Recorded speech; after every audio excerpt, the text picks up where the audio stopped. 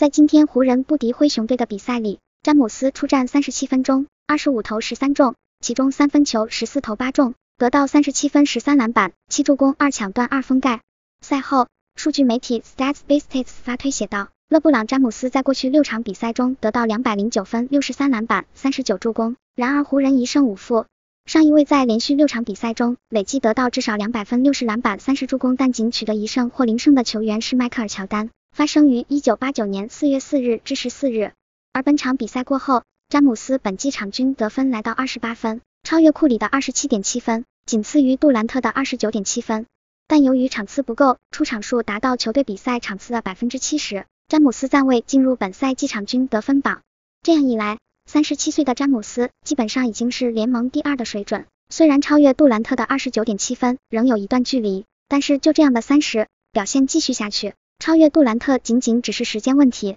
但是虽然现在场均得分还不如 KD，不过在三分数据上让球迷感到意外的是，在赛季截止至今，詹姆斯的三分球总命中数已经超过了杜兰特，这会不会让很多球迷感到意外呢？来看看双方的对比差别，杜兰特本赛季一共命中五十次三分球，命中率百分之三十八点二，而詹姆斯本赛季已经命中六十一记三分球，命中率百分之三十五点三。两者的命中率差距仅为百分之一点九，在比杜兰特少出战三场比赛的情况下，詹姆斯的三分命中总数比 KD 还多，命中率差距仅不到两个百分点。很显然，杜兰特和詹姆斯在三分这项技术上已经没有档次上的差别了。从刚进入联盟时期被球迷认为注定打不到三十岁，到现在三十七岁还能场均得分超越上个赛季得分王的库里，三分追上跟杜兰特之间的差距，这样的历史级别差距还有什么能黑的呢？不知道你们对于詹姆斯的表现又是如何看待的呢？